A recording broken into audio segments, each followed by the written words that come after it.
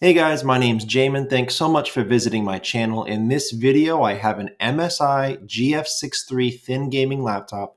I'm going to show you how to get inside, access, and replace your speakers. So first thing guys, power down your computer the correct way. Make sure it's off and unplugged from your charger. We're then going to flip the computer over to access your bottom case screws. Now there's quite a few screws on this bottom case. You have four along the bottom edge here of the screen, three along this edge, three over here, one top left, and this last one here in the middle. So you're going to remove all of those screws. After you do, you'll take a small, flat, preferably plastic pry tool.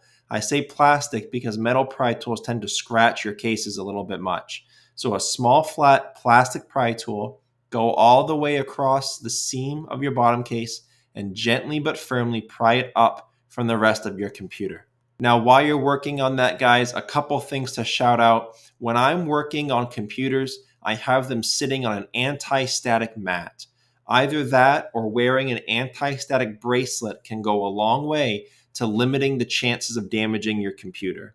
In addition to those type of supplies, any sort of pry tools or screwdrivers or anything like that you need for your project, there'll be a link above also below in the description where you can see some of the things that I use in my shop. That link will also include all of the replacement and upgrade parts for this specific model laptop, including the RAM.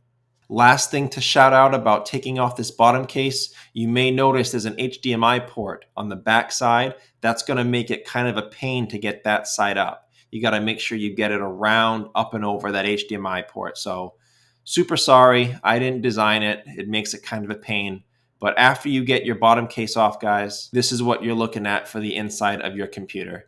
Now, before going deeper into the computer, I always unplug or remove my main computer battery.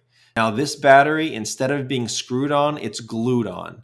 Um, that kind of complicates it because I wasn't able to get this plug out without removing the battery. There's not a lot of room here. They didn't leave a lot of space.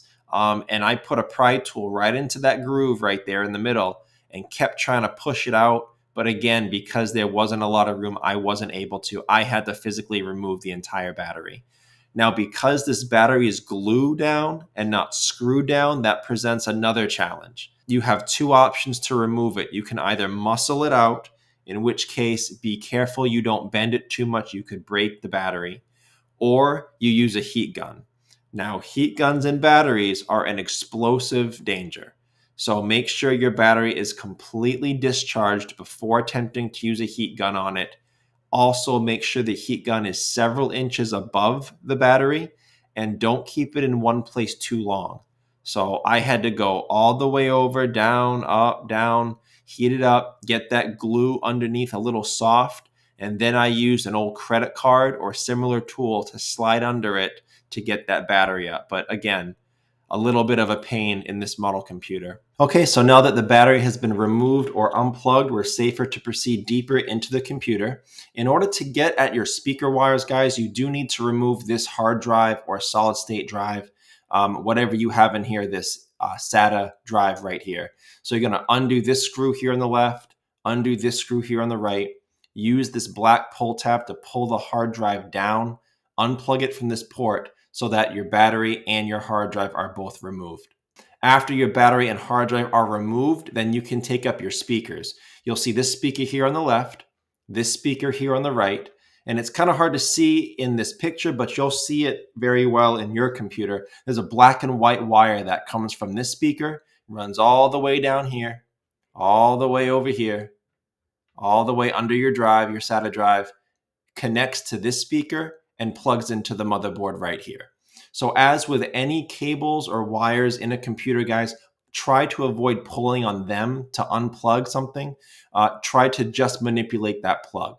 So use your fingernails on either side of that plug or a pry tool or a pair of pliers and just jimmy that out of its port that way. Again, try to avoid pulling on wires to unplug things. After that, guys, your speakers are pretty much undone. They aren't screwed down. All, all they have are these little rubber washers around these pillars here, and you can just slide those up out of there. Um, and as I mentioned before, replacement speakers are one of the many replacement and upgrade parts that will be included in, in the list below in, in that link. So I hope this helped you out, guys. I hope it helped you get into your computer, access your speakers. Um, if you have any questions, go below, check out the FAQs in the description. That could save you some time getting an answer. If you still need to leave me a comment, please feel free to. I do try to get to those a couple times a day at least. So thanks so much for watching, guys. I look forward to seeing you on my next video.